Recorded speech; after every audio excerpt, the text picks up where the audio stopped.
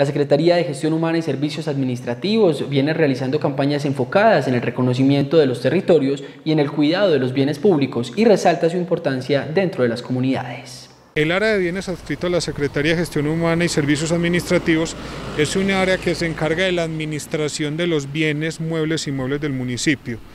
Eh, esta administración corresponde a velar y salvaguardar por su buen uso, cuidado y en algún momento, si se requiere entregar bajo comodato o contrato de arrendamiento ante alguna solicitud que la ciudadanía o algún ente lo requiera. Los bienes inmuebles con los que cuenta Guarne son precisamente para el beneficio, uso y aprovechamiento de las comunidades. En este momento el municipio de Guarne tiene 595 bienes inmuebles, tanto en el área rural como en el área urbana.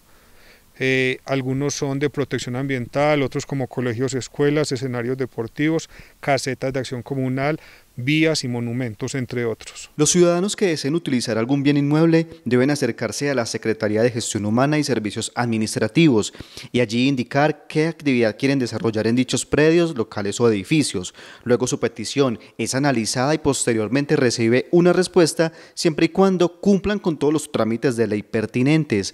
Algunos de estos bienes inmuebles están identificados. Correcto, eh, esta es una identificación que tenemos en algunos de los predios hacia la zona rural, en donde con esto lo que pretendemos es que la comunidad identifique los predios, se apropie de ellos. Ahí dice que no se arrienda y no se permuta, pero como en el caso anterior te conté, bajo una solicitud y una revisión por parte de la, de la entidad se determina si es viable o no. La invitación también es a informar alguna anomalía identificada en alguno de los bienes.